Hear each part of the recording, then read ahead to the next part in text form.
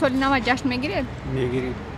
Чӣ хел дар куҷо бо ки? Дар хона ба фикратон имсол барои ҷашнгирии соли нав чӣ қадар маблағ сарф мекунед? Аз соли гузашта камтар ё бештар? Агар дошта бошем мисота дома са внуками по вашему в этом году на празднование уйдет больше или меньше чем в прошлом? Как обычно. Бале ҳатман дар хона бо хонавода.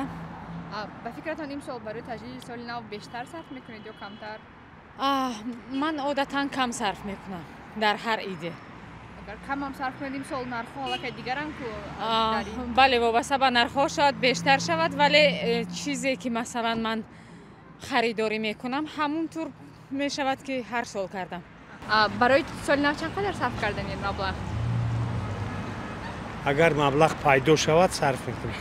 Аку мо аз вақте ки таваллуд шудем ҷашн мегирем ҳама вақта барои набираҳо насиб бошаданд ҷашн мегирем ҳатман хел дар куҷо ҷашн гирифтани бисёртар дар вай муҳити оила паго бояд ба москва равем мумкин аст дар москва соли навро бо хештаворо бо рафиқҳо ҳамкурсҳо пешос гирем.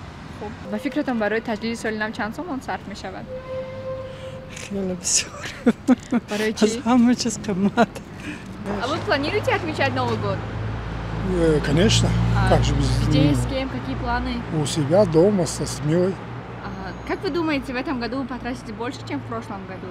Ну, это да, нет, конечно. А с чем это может Это связано с инфляцией. Год прошел. Инфляция. Ежегодно у нас высокая инфляция. Инфляция означает, что деньги обесцениваются, товары подорожают. Так что определенно буду платить побольше.